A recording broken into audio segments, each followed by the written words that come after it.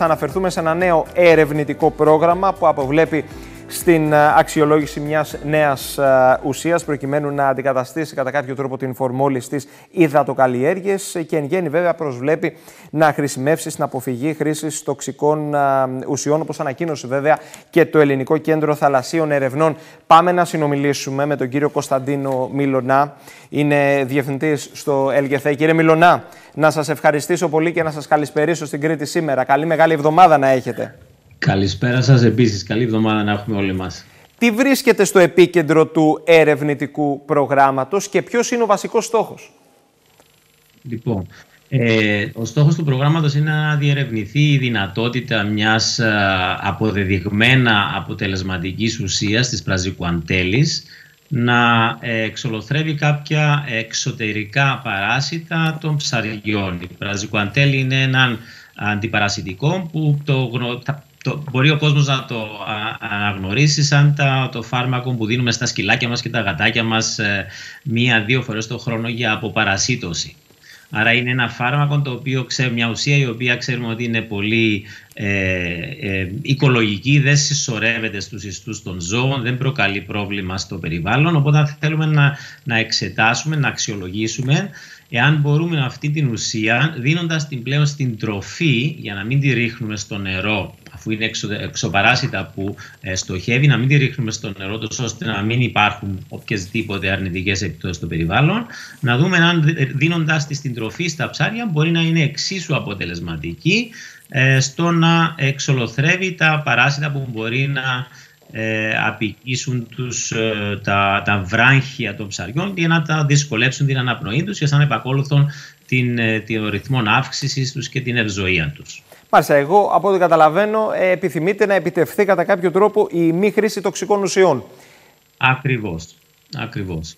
Μέχρι σήμερα τα, τα φάρμακα που ναι. υπάρχουν, οι ουσίες που υπάρχουν για τέτοιου είδους σκοπούς είναι ε, το υπεροξίδιο, ε, το υπεροξίδιο του υδρογόνου, το, το οξυτζενέ που λέμε, το οποίο ξέρουμε ναι. όλοι που, που χρησιμοποιούμε για, ε, ε, όταν έχουμε μια κάποια πληγή για να κάνουμε μια αναπολύμανση.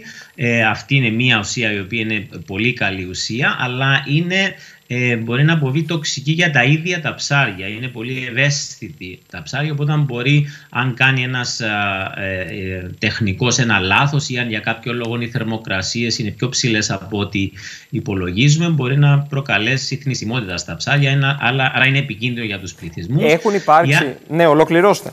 Ναι, η άλλη ουσία που χρησιμοποιείται για τέτοιου είδους ε, παρασιτώσεις είναι η φορμαλίνη, η πολύ γνωστή φορμαλίνη, η οποία χρησιμοποιείται εδώ και δεκαετίες και στα εργαστήρια για ε, συντήρηση δειγμάτων. Οπότε βλέπετε σε μουσεία να υπάρχει συντήρηση δειγμάτων. Η, πρώτο, η πρώτη ουσία ε, στην οποία μπαίνει το, ο ιστός για να για να συντηρηθεί είναι η φορμαλίνη. Αλλά επειδή είναι μια επικίνδυνη ουσία για τον άνθρωπο, ε, για τους ανθρώπους που τη χρησιμοποιούν δηλαδή, ε, θα υπάρξει ε, εξαφάνιση της σιγά σιγά, θα σταματήσουμε να τη χρησιμοποιούμε στην, και στις ηχθειοκαλλιέργειες και προσπαθούμε να βρούμε κάποιες άλλες εναλλακτικές ουσίες οι οποίες να είναι και πιο φιλικές προς τον άνθρωπο, προς τους ναι. εργαζομένους και πιο φιλικές προς το Υπάρχουν κάποια συγκεκριμένα συμπεράσματα τα οποία έχουν προκύψει μέσα από έρευνα πολυετή ίσως που έχετε επαργαντοποιήσει και σας οδήγησαν ε, στην εκπόνηση του συγκεκριμένου ερευνητικού προγράμματος; Βεβαίως, ξέρουμε πολύ καλά, όπως σας είπα, ότι η Προζικουαντέλ είναι πάρα πολύ αποδοτική, ε, αποτελεσματική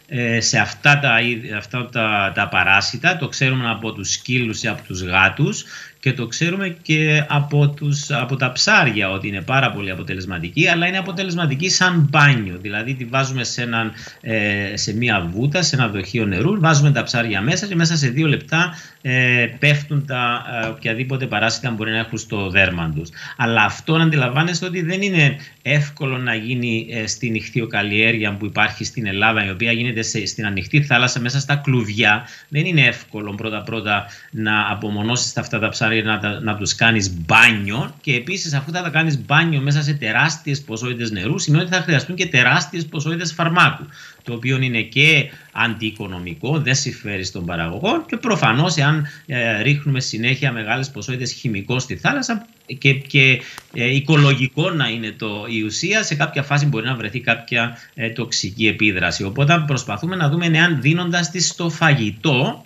ε, μπορεί να είναι πιο αποτελεσματικό. Και στο φαγητό υπάρχουν ε, δύο-τρία ε, ωφέλη κάνοντας το αυτό. Πρώτα-πρώτα ε, είναι στοχευμένο, δηλαδή η ουσία πάει στο ψάρι και όχι απλά στο νερό. Ε, χρησιμοποιείται πιο μικρή ποσότητα γιατί το ψάρι τρώει την τροφή αμέσως, οπότε δεν υπάρχει χαμένη τροφή, χαμένη ουσία που να πηγαίνει στο, ε, στο, στο, θάλασσα. Και επίσης μπαίνει στο αίμα του ψαριού ε, πάει στα βράχια που είναι ο στόχος αυτών των, των παρασίτων, ε, τα σκοτώνει και μετά αυτή η ουσία ε, αποδομείται από τα φυσικά ένζημα του οργανισμού του ψαριού και ξέρουμε ότι δεν υπάρχει βιοσυσσόρευση στους ιστούς.